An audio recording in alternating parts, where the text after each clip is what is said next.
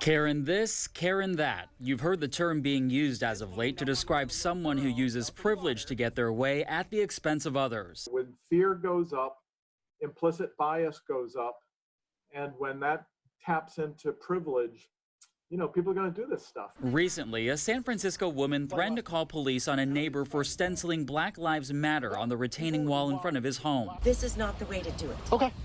More of these Karen incidents are being documented on smartphones and then quickly shared through social media. People are very quick to think that they're right, and they're always right, and other people are wrong. You might recall Barbecue Becky. This incident involved a white woman who called the cops on a group of black people barbecuing at Lake Merritt in Oakland. Uh, it's illegal to have a charcoal grill in the park here. Then there was Permit Patty.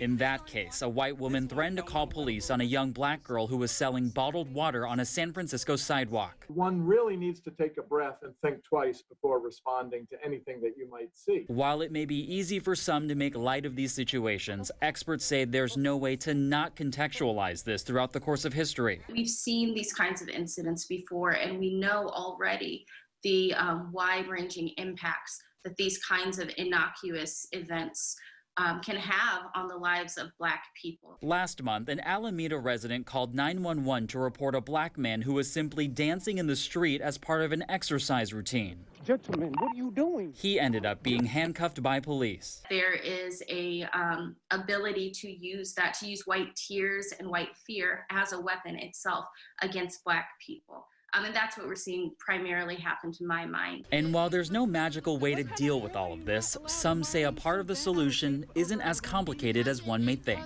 We always got to remember that everybody is important, everybody is sacred, everybody is uh, uh, uh, should be treated respectfully and reverently and so forth.